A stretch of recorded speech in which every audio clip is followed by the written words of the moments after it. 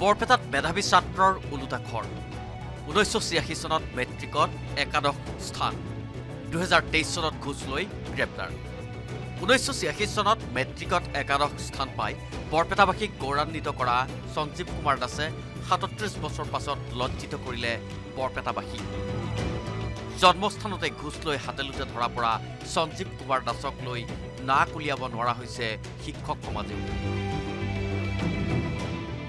অতি পৰিতাপৰ কথা আমাৰ সকলোৰে কাৰণে বিশেষকৈ শিক্ষা জগতৰ লগত জড়িত সকলৰ কাৰণে।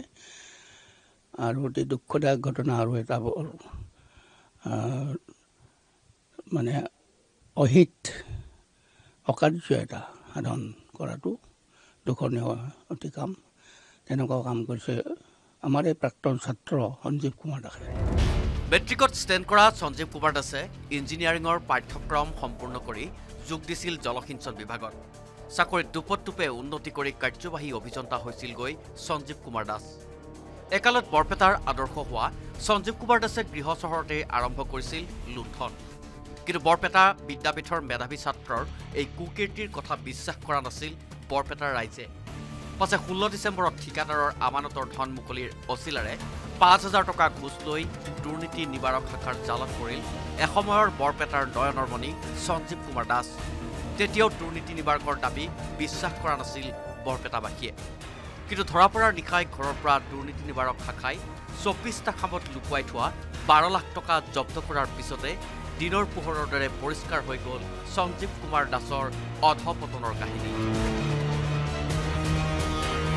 ছাত্ৰ মানে আমাৰ পুত্ৰৰ নিচিনা গতিকে তেনেকুৱা কাম কৰিলে আমি বৰ অন্তৰত আঘাত পাওঁ আৰু এইটো এটা হেৰি হ'ব লাগে দৃষ্টান্ত হ'ব লাগে যে এনেকুৱা ধৰণে যাতে ইমান গুণ গৰিমাটো নস্যাত কৰি দিয়ে ধ্বংস কৰি দিয়ে একোটা সাধাৰণ কুকীৰ্তিৰ কাৰণে যিটো অসাধাৰণৰূপে সমাজত পৰিগণিত হয়। গতিকে সেইটো আমি মই গৰিহণা দিছোঁ আৰু সেইটো বৰ নিন্দাজনক কথা।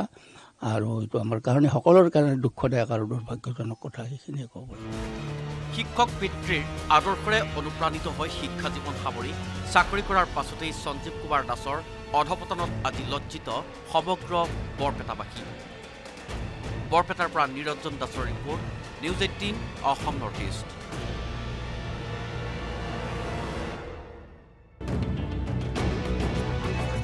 বৰপেটাত মেধাৱী ছাত্ৰৰ ওলোটা খৰ ঊনৈছশ ছিয়াশী চনত মেট্ৰিকত একাদশ স্থান দুহেজাৰ তেইছ চনত ঘোচ লৈ গ্ৰেপ্তাৰ।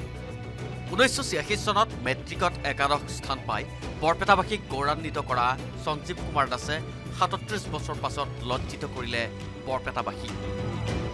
জন্মস্থানতে ঘোচ লৈ হাতেলোতে ধৰা পৰা সঞ্জীৱ কুমাৰ দাসক লৈ নাক উলিয়াব নোৱাৰা হৈছে শিক্ষক সমাজেও। অতি পৰিতাপৰ কথা আমাৰ সকলোৰে কাৰণে বিশেষকৈ শিক্ষা জগতৰ লগত জড়িত সকলৰ কাৰণে।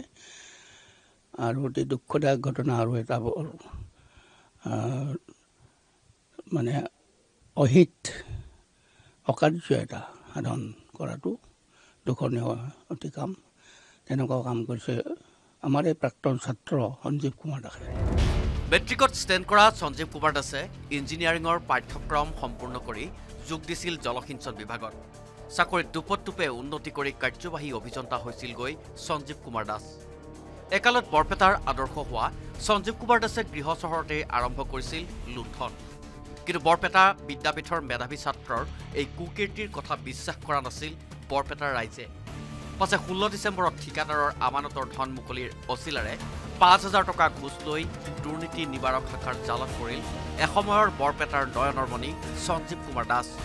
তেতিয়াও দুৰ্নীতি নিবাৰকৰ দাবী বিশ্বাস কৰা নাছিল বৰপেটাবাসীয়ে। কিন্তু ধৰা পৰাৰ নিশাই ঘৰৰ পৰা দুৰ্নীতি নিবাৰক শাখাই চৌব্বিছটা খামত লুকুৱাই থোৱা বাৰ লাখ টকা জব্দ কৰাৰ পিছতে দিনৰ পোহৰৰ দৰে পৰিষ্কাৰ হৈ গ'ল সঞ্জীৱ কুমাৰ দাসৰ অধপতনৰ কাহিনী।